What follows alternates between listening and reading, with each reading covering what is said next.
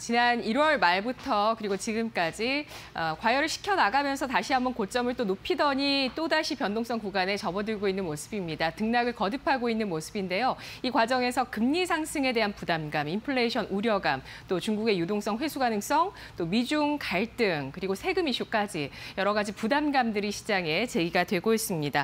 어, 하지만 이 변동성 장세 속에서도 지수 하단을 잘 지지하는 것은 경기 회복에 대한 기대감이라고 볼 수 있겠는데요. 나스닥이 일단 간밤 10년물 국채 금리가 1.5%까지 다시 올라가자 장중 저점에 마감됐다는 점은 또 부담입니다. 어떻게 우리 시장에서 반영을 할까요? 오늘 어, 유진 투자증권 서울 WM센터 김영재 영업 이사 만나보겠습니다. 안녕하십니까 이사님? 네, 안녕하십니까? 네, 간밤 글로벌 동향에서 체크 포인트 어떤 걸 볼 수 있을까요? 네, 어, 수요일, 수요일 글로벌 증시가 코로나19 추가 지원 방안 및 어, 경기 회복 기대감이라는 긍정적인 재료와 어, 미국 국채 금리 상승이라는 부정적 재료가 나타나면서 혼조세로 일단 마감을 하는 모습입니다. 먼저 유럽 주요국 증시는 지난주 급락에 대한 반발 매세로 일단 상승 출발했는데요. 장중 미국 국채 금리가 다시 상승하면서 마이너스로 전환되었는데 당 후반부 경기 회복 기대감이 다시 나타나면서 3거래일 연속 상승에 성공했습니다. 유럽 증시에서 상승한 업종은 어, 코로나 피해주라고 할 수 있는 업종들이었는데 어, 폭넓은 경제 재개 기대감에 어, 자동차 제조, 은행, 여행, 내저 업종이 상승하는 모습입니다. 미국 증시는 예상보다 부진한 실업 지표와 금리 상승으로 인해서 기술주 위주의 나스닥이 마이너스 2.7%의 큰 폭의 하락을 기록하는 등 양시장 모두 하락 마감했습니다. 먼저 오늘 발표된 2월 민간 부분 고용은 11만 7천 명 증가를 기록했는데 증가세를 유지했지만 시장 기대치에는 못 미치는 실적이었습니다. 아, 또한 미국 바이든 대통령이 5월 말까지 모든 미국 성인에게 어, 마치 백신을 확보할 수 있다고 밝혔는데 이는 당초 계획했던 7월 말에서 두 달 앞선 것으로서 예상보다 빠른 경기 회복세가 나타날 수 있는 만큼 어, 이로 인한 인플레이션 우려감이 나타나면서 국제금리가 상승하는 모습이 나타났습니다. 어, 그러나 절대적인 금리 상승폭이 어, 크지는 않았다고 판단되고 있고요. 어, 오늘 금융 및 상품 시장의 전반적인 분위기는 금리 반등을 제외하고는 위험자산 선호가 여전히 우위로 나타났습니다. 아, 대표적으로 국제유가는 미국 휘발유 재고 감소 소식에 WTI가 다시 60달러 선을 회복하고 금값은 하락, 아, 달러는 소폭 약세였습니다.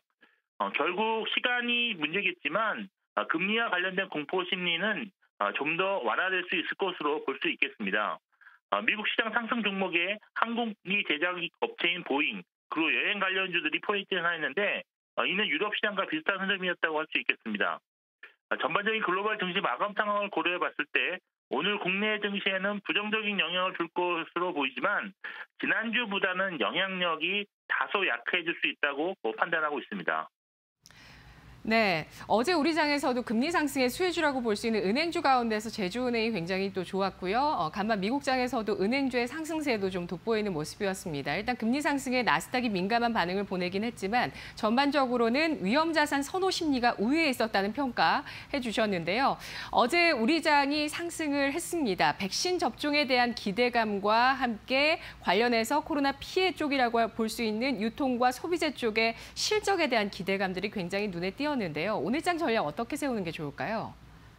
네, 일단 국내 증시 전망부터 해보면 지난주 증시 흐름과 크게 달라질 것이 없을 것으로 예상되는데 일단 미국 나스닥 하락 영향으로 국내 증시 역시 하락한 출, 하락 출발한 이후에 기관 및 외국인 투자자의 매매 방향성이 변수이긴 하지만 오전장은 약세 지속, 오후장 들어서는 반등 시도가 나타날 수 있다고 일단 보고 있습니다.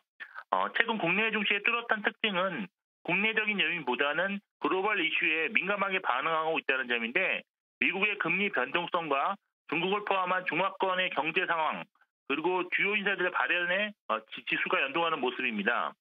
어, 이런 현상은 증시가 실적 장세로 넘어가기 전 과도기에 나타난 현상으로서 어, 부채를 기초로 한 풍부한 유동성이 이제는 더 이상 증시 상승을 견인하고 있지 못하기 때문입니다. 따라서 이제 증시 또는 개별 종목의 상승을 견인할 수 있는 것은 확실한 실적 호전이라고 할 수 있는데 아, 실적 방향성이 좀 더 명확해지기까지 아, 시간이 좀 더 필요하기에 증시 역시 추세적 방향성을 잡기까지에는 시간이 좀 더 필요해 보입니다. 어, 올해 들어 증시 거래 대금을 살펴보면 어, 절대적 지수 수준과 매우 밀접한 상관관계를 보이고 있는데 3월 들어서는 양시장 하루 평균 거래 대금이 28조 3천억 원으로서 어, 고점이었던 1월 대비 약 32.7% 감소했고요. 2월 대비로도 12.5% 감소한 수준입니다. 아무래도 수익을 내지 못한 투자자들이 적극적 매매를 하지 않고 있기 때문인데 지수의 변동성이 확대되면 다시 거래 대금이 증가할 것으로 예측해 볼 수 있겠습니다. 어, 좁은 박스권 장세가 지속되면서 시장 참여자들도 이에 적응, 적응하고 있다고 보고 있는데요. 어, 보수적 투자자들은 주식 비중을 줄이고 상반기 시장을 관망하겠다는 움직임을 보이고 있고 아, 시장에 적극적으로 대응하는 투자자들은 3천선 부근에서 매수, 3,100 이상에서 현금 비중 확대를 반복하고 있다고 보입니다. 어, 개인적으로 현재와 같은 시장 상황에서 주식 투자로 수익을 내기가 매우 어렵다고 보이는데 어, 그럼에도 불구하고 수익을 창출하기 위해서는 목표 수익률을 낮게 잡고 지수 3,100 근처에서는 매도, 3,000 이하에서는 매수하는 기계적인 매매를 하셔야 할 것 같습니다. 그리고 올해 전반적인 이익 성장 가능성은 아, 작년에 코로나19로 인해 피해를 본 경기 민감주가 상대적으로 양호할 것으로 예상되므로 작년에 주가가 많이 오른 BBIG 관련주보다는 경기 민감 업종의 신규 매수가 유리할 것으로 보입니다. 아, 또한 대형주의 경우에는 기관 및 외국인 매도세가 여전히 나타나고 있는 만큼 수익을 내기가 어려, 어렵, 어렵습니다. 따라서 어, 수익을 내기 위해서라면 작년 주가 상승이 상대적으로 약했던 중소형주나 최근 단기에 30% 이상 하락한 낙폭 과대주를 공략하시는 것이 유리하다고 판단하고 있습니다. 네, 의견 잘 들었습니다. 네, 감사합니다. 고맙습니다.